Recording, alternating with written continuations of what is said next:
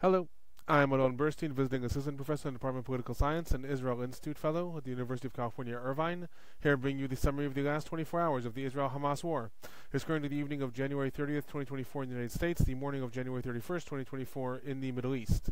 Starting with the Gaza situation, many reports came in today regarding the ongoing negotiations that are all, building on the Paris summit that concluded at the beginning of the week.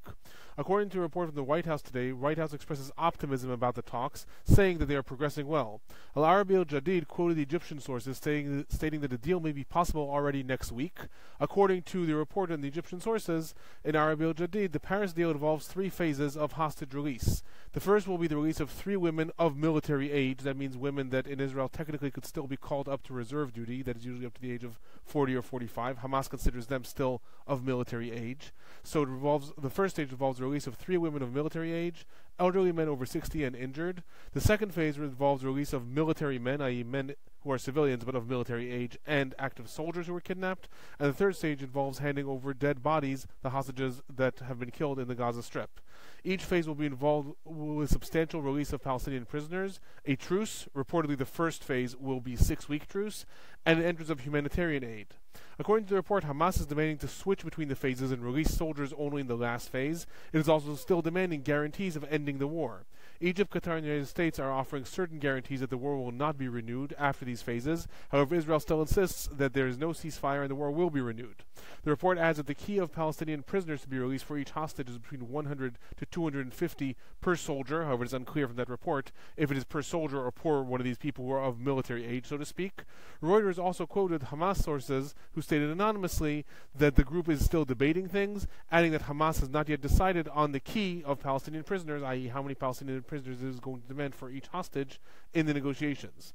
Relating to all this, the leader of Hamas, Ismail Haniyeh, the leader of Hamas External, who is in Doha, stated today, and I quote, Hamas has received the proposal from the Paris meeting, is studying it, and will give its answer, based on the top priority of stopping the aggression against Gaza and withdrawing all the occupation forces from the Gaza Strip. He also announced that he will be traveling to Cairo to discuss the deal, and that the meeting is supposed to take place tomorrow. Importantly, Ismail Haniyeh did not outright reject the deal, which Hamas up until now has said any deal that does not involve an immediate ceasefire that will be permanent, as well as a withdrawal of IDF from the Gaza Strip, is off the table. Ismail Haniyeh did not say that. He said it is being discussed. Contrary to this, however, Palestinian Islamic Jihad leader Ziad Nakhalah today stated, and I quote, we will not focus on deals without guaranteeing a complete ceasefire, withdrawal of IDF forces, rebuilding the Gaza Strip, and a political solution that guarantees the rights of Palestinians. When, he, when asked about this statement, Mohammed Nazal, who's a member of Hamas's political bureau, stated to Al Jazeera, and I quote, We cannot bypass our brothers in the resistance or the Palestinian Islamic Jihad. We haven't started the negotiations, and we have demanded what is right for the entire Palestinian people, not just our leadership. So what we're seeing here is while there may be signs of Hamas showing some flexibility, admittedly, in all these reports, it still says that Hamas is still demanding complete ceasefire. However, in the public statement, Hamas does not outright reject this. In the public statement, the Palestinian Islamic Jihad, who also hold some hostages, outright rejected this. Prior to the last round of negotiations, Israel said it is not going to negotiate with both organizations separately. It is negotiating with Hamas, but only if Hamas guarantees that the Palestinian Islamic Jihad adheres to any deal that is made. That did work in the last truce. It remains to be seen with what happens here. On the Israeli side, the extended Israeli cabinet is due to meet on Thursday. The U.S. is reportedly mounting substantial pressure on Qatar to bring forth a complete deal as a result of Israel saying that Qatar has to be the one who is pressured. Visiting the settlement of Eilit today in the West Bank, Prime Minister Netanyahu stated in regards to all these different reports, and I quote, I hear a lot about all kinds of deals, so let me make clear.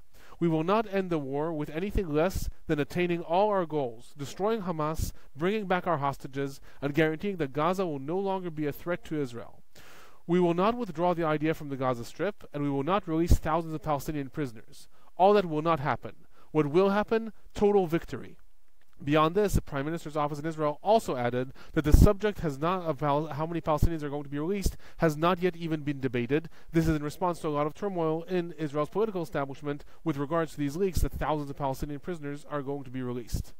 Moving on to the ongoing fighting in the Gaza Strip, there was a barrage of rockets sent today targeting the southern parts of Israel, primarily targeting the areas of Nahal Oz regarding the fighting in the Gaza Strip. In the northern part of the Gaza Strip in Gaza City, the IDF reportedly carried out a raid in and around Al Shifa Hospital that lasted 24 hours.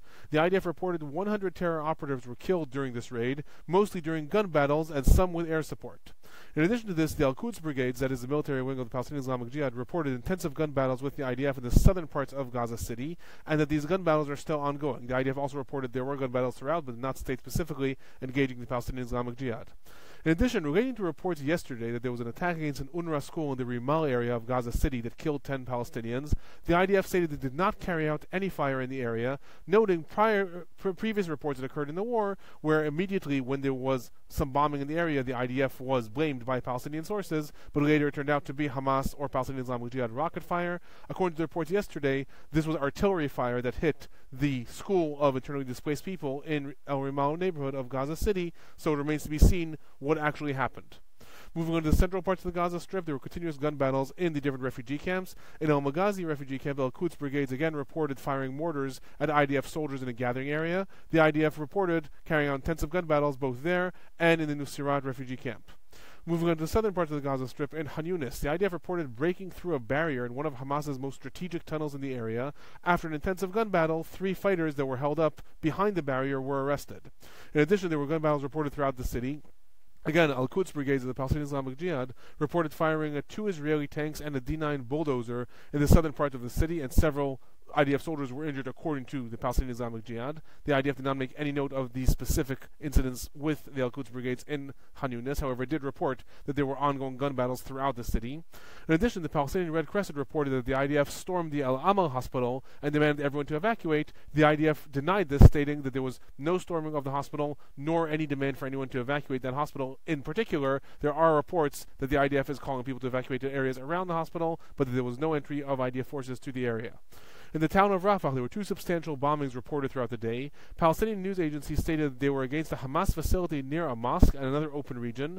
And Al Arabi al Jadid added that these attacks were right near the Egyptian border, which is a very, very contentious situation because the deteriorating diplomatic relations between Israel and Egypt are surrounding the question is Israel going to actually carry out an operation in the Rafah area, specifically on the Philadelphia line, the border between Gaza and Egypt? Other news relating to the fighting in the Gaza Strip. Israel today confirmed for the first time the existence of what's called Operation Atlantis, that is the attempt to flood the tunnels with seawater. While reports came out already in the last several months in different international media about Israel's operation, this is the first time that Israel is confirming that it is actually carrying this out. According to reports several days ago in the Wall Street Journal, this operation has been developing but has also proved ineffective. In turn, the IDF today stated that the military has developed the ability to neutralize underground terror infrastructure with water, announcing that it is operational. The IDF stated that experts were consulted to verify there will be no ecological damage as a result of flooding the tunnels with water, and added that this is only one of the systems that is being used. So the IDF is not saying that this is the system that is being used to neutralize the tunnels. However, it is confirming that it is one of the mechanisms that is being used. There was one report that speculated that the IDF may be making this public in order to make Hamas operatives more fearful of staying in the tunnels and make them rise to the surface. Other news related to the Gaza Strip, the United States State Department reported that the UN Commission that is going to visit the northern parts of the Gaza Strip is going to do so in the coming days, adding that the visit has been postponed as a result of the renewed fighting in the northern parts of the Gaza Strip. The statement made clear that the renewed fighting is a result of Hamas re-emerging in the different parts of the north, and that once the situation calms down, the Commission will visit the area. So, just a reminder, this is a result of, of reportedly intense U.S. pressure to allow Israel to have a UN commission visit the northern parts of the Gaza Strip in order to try to actually ascertain what will be needed in order for civilians to return. Israel agreed under several conditions. Among others, it stated that the commission has to first visit the areas surrounding Israel that were targeted on October 7th. Second, that it has to there has to be a public recognition that Israel agreeing to this commission going to the north is not Israel accepting that civilians are going to return. And third, that the U.S. delegate will be part of the commission. So reportedly, that commission is going to come in in the coming days. One of the sticking points in the last several days has been who is going to guarantee the commission's security. Is it going to be the IDF or some other force or UN security forces? Apparently, now the commission is being postponed as a result of the ongoing fighting in the northern parts of the Gaza Strip. Regarding casualties, no IDF soldiers reported killed in the Gaza Strip in the last 24 hours, leaving the total number of IDF soldiers that were killed in the Gaza Strip since the invasion began on 222. 16 IDF soldiers reported injured in the Gaza Strip in the last 24 hours, leaving the total number of soldiers that were injured in the Gaza Strip since the invasion began at 1,300. The, the, the reason that number is somewhat vague, nearly 1,300, is because different sources include different numbers of IDF soldiers that were injured. Sometimes Sometimes it includes IDF soldiers that were injured in the areas around the Gaza Strip in mortar fire, sometimes not, so that number somewhat varies. Regarding the Palestinian side, the Palestinian Health Ministry is reporting that 114 Palestinians were killed in the Gaza Strip in the last 24 hours, bringing the total number of Palestinians that were killed in the Gaza Strip since the war began to 26,751. A total of 65,636 Palestinians are reported injured, and there are still several thousand that are buried under the rubble and presumed dead. Moving on to the humanitarian situation in the Gaza Strip, thousands of Palestinians are continuously evacuating the areas of Han Yunis towards the Al Mawasi refugee camp. Reportedly, while this evacuation is enabling them to get to a safe zone, the Al Mawasi refugee camp, as well as the refugee camps around Rafah, are starting to collapse as a result of overcrowding. Other news UNRWA spokesperson Adnan Abu Hassana gave an interview today to Israel's Ynet news network. He stated, and I quote, Israel has occupied the Gaza Strip and needs to provide civilians with food, shelter, and medical treatment. Our budget runs out in a month, and who knows what will happen after that. He was relating to the fact that different countries have slashed their funding to UNRWA as a result of the ongoing investigation that 12 UNRWA members participated in the October 7th attack and that others are members of Hamas and the Palestinian Islamic Jihad. He was stating that the organization is shocked by the fact that these countries have slashed their funding, that the money is going to run out at the end of the month, and that at the end of the day, this is going to be Israel's problem. Relating to this, the U.S. State Department announced today that despite freezing the funding to UNRWA, there is no substitute for UNRWA's humanitarian activity in the Gaza Strip, that the U.S. wants to see the agency keep working. U.S. Ambassador to the UN, Linda Thomas Greenfield, stated today that UNRWA has to undergo meaningful changes before the U.S. renews its funding, noting that the investigation of the organization has already, has already launched is a first step. Other news protesters in Israel tried to block the Nitzana crossing today after being turned away from blocking the Kerem Shalom crossing. So, in the last several days, protesters have tried to block the Kerem Shalom crossing. That is a crossing between Israel and the Gaza Strip, where trucks are going in. That was declared a closed military zone in order to stop them from blocking that. In turn, they tried to get the Nitzana crossing. The Nitzana crossing is a crossing on the border of Israel and Egypt, where humanitarian aid trucks come from Egypt to be inspected by Israel, then proceed to the Rafah crossing. Protesters reportedly tried to block that crossing today. Other humanitarian news Doctors Without Borders issued a statement today expressing grave concern over the obstetric care of pregnant women in the Gaza Strip.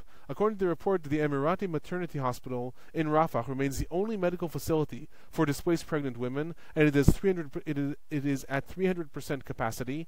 The report included the fact that many women, after giving birth, even with cesareans, are released after several hours, and that many women giving birth non-cesareans are actually doing so in makeshift tents without any anesthetic and without proper medical care. There was no report regarding how many trucks entered the Gaza Strip in the last 24 hours. In fact, there's been no report for several days, neither by the UN, the IDF, or the Palestinian Red Crescent. This may be related to those protests, or it may be simply lack of reporting. Moving on to the West Bank, the IDF carried out a major operation, unusual in its nature, in the Ibn Sina hospital in the Jenin area against Hamas operatives planning a terror attack. According to the report, the IDF soldiers infiltrated the hospital dressed as medical staff and patients, carrying out an assassination of three different operatives. According to reports, the operatives were Muhammad Jalabna. He was a local Hamas commander who had been in contact with Hamas leadership abroad and was planning raids against Israeli settlements. Muhammad Azawi, he was an operative of the Jenin Brigades that has been very active in the last couple of months, who carried out several different terror attacks against Israelis. And Basel Azawi, his brother, who was a member of the Palestinian Islamic Jihad and were involved in other terror activity. According to the report, soldiers, after infiltrating the hospital, stormed the, the ward in which those three were. They were assassinated. Ten more people were in the ward, they were not injured, and then the soldiers left the hospital. Other IDF activity was also reported in the area of Kufin, north of Tulkarem. Reportedly, that was a more common raid. Responding to this, this was condemned by several different organizations, including Doctors Without Borders, for the for the IDF dressing up as medical staff. Hamas also promised retaliations. Moving on to the northern parts of Israel, southern parts of Lebanon. Rockets and missiles were sent from Lebanon targeting the northern parts of Israel today. In the western Galilee, rockets targeted the area of Arab al Ramsha in several different rounds of barrages. And in Metula, in the upper Galilee, two anti tank missiles were fired, one of them hitting a house and causing substantial damage. Hezbollah stated that it fired the rockets towards Metula specifically in retaliation to IDF attacks against villages and residential homes in the El Hiam area, claiming responsibility for six more barrages throughout the day. Regarding IDF retaliations, the IDF announced that it carried out attacks against an operational command station of Hezbollah and lookout posts in the El Hiam area. Other attacks were reported in villages of Ita Sha'ab and Mehihab, El Mayadin also reported there were repeated attacks in El Hayam with artillery fire as well. Political news related to the ongoing escalations between Israel and Hezbollah. After it was reported oh, over a week ago that Israel had given a deadline of the end of January to the United States before it, it closes the window on a diplomatic solution, and this was also mentioned several days ago by the U.S. Special Envoy Amos Hochstein. Today, Minister of Defense in Israel, Yoav Gallant, stated, and I quote, I say this loud and clear. The option for a diplomatic solution is waning out. There will come a time where our patience runs out and our ability to negotiate the situation is no more. If fire is turned on Israel from Lebanon, the situation in Haifa, that is the northern part of Israel, won't be good. But in Beirut, it will be nothing short of devastating. What you saw in Gaza can be replicated in Lebanon, and the Air Force is only using a small part of its strength in Gaza, saving it to deal with the northern front. I hope we don't have to get there, but we are ready. In addition, Al Akhbar, which is a news agency affiliated with Hezbollah, reported today that a series of U- European diplomats, including heads of intelligence, have been visiting Lebanon in the last week, trying to promote the implementation of UN Security Council Resolution 1701, i.e., pushing Hezbollah north of the Litani River, which will allow Israel, or that's one of Israel's conditions, also to de escalate. Another front in Syria, three rockets were launched today from Syria towards the Golan Heights of Israel. The Syrian Human Rights Observatory reported that in IDF retaliations, IDF attacked two Syrian outposts, one in the Tel El Juma area and one in the Nafah region. There were, there were, no reports of any casualties. Other reports also stated that the IDF retaliations against the launching sites targeted the areas west of Dara. Moving on to some of the regional developments. After yesterday, the Pentagon announced that Hezbollah and Iraq brigades, or Kataib Hezbollah, which is a different Iranian militia that is not affiliated with Hezbollah in Lebanon, was reportedly the one who launched the drones that attacked the Tower 12 base of the United States, killing three Marines. Today, that militia rep- uh, announced that it is suspending its attacks against the United States forces in the region in order to avoid embarrassing the Iraqi government. According to reports, this is a result of major pressure that was leveled on them by the Iraqi government, stating that they are going to drag the region into an all out war that the government is not interested. The militia said that it is going to continue to support Gaza in other ways. Related to this, the United States implied today that its retaliation against that attack that killed three Marines and injured 40 is going to occur in several rounds and is not going to be limited to one area.